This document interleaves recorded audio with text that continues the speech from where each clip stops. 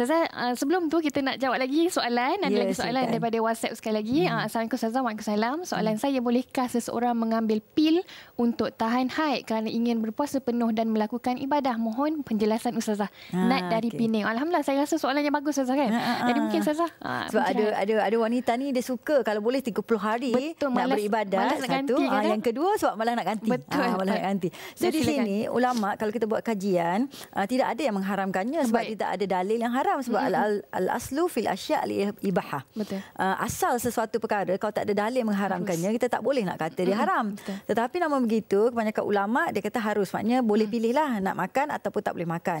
Tapi kebanyakan ulama dia menggalakkan supaya tak makan. Termasuk saya. Saya tak saya tidak menggalakkan diri saya untuk makan. Kecuali untuk pergi umrah. Mm-mm, tapi betul. saya umrah pun saya tak makan juga. Sebab saya boleh kira kitaran Ha, dia kan? betul. Uh, so uh, kenapa tidak menggalakkan? Sebab kita takut mengganggu perjalanan semula jadi. Betul. Sebab Tuhan buat sesuatu ni dia ada dia punya uh, hikmah dan Hikmah, sebagainya sebab. uh, dan ada sebab semula jadi dia so kalau kita kacau dia punya perjalanan uh, mungkin akan ada masalah mungkin Ah, saya ya, tak betul. tahu sebab kajian uh, mungkin tidak uh, dilakukan secara ekstensif terhadap perkara ini Betul. tapi kebanyakan ulama dia menyarankan supaya kita ikutlah secara semula jadi Baik.